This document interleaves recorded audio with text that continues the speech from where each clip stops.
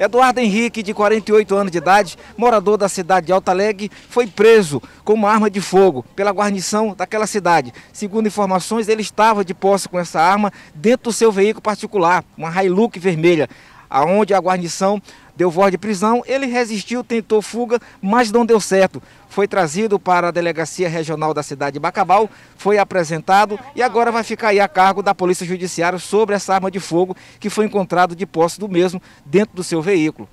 A guarnição composta por mim, pelo cabo Emanuel e pelo soldado Gerson, tivemos várias, várias, várias ligações por volta das 15 horas, né, de que tinha um elemento efetuou um disparo lá no povoado Campestre.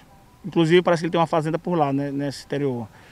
De imediato, agora não se deslocou até o local, né? Chegando lá, uma, um morador, morador informou que o mês não se contava no local e que ele estaria provavelmente no povoado Angical, numa Hilux vermelha. Aí, de imediato, a gente se deslocou até esse povoado, referente povoado, e achamos lá esse rapaz com a mesma característica que informaram a guarnição. Tentamos fazer abordagem nele, ele resistiu à abordagem, entendeu? Então, ele desacatou a guarnição. Então, nós, nós devemos fazer prisão para ele. E fizemos uma vistoria no, no veículo dele, no carro Hilux. Foi encontrada uma pistola 380, dois carregadores e 18 munições intactas. Entendeu? Aí viemos aqui para Bacabal, onde é o plantonista aqui, para o delegado Tomás Providência. Ele já tem passagem? Não, não que a gente tem conhecimento, entendeu? Ele, ele participa de São Luís, ele tem uma fazenda lá.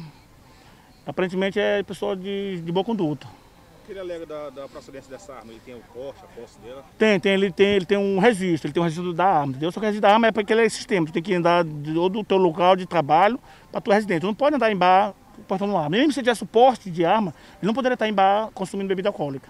Essa informação de que ele faz parte é, da prefeitura de Alta Alegre consiste?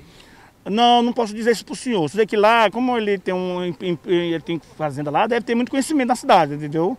Uma cidade é pequena, com ele deve ter muito conhecimento.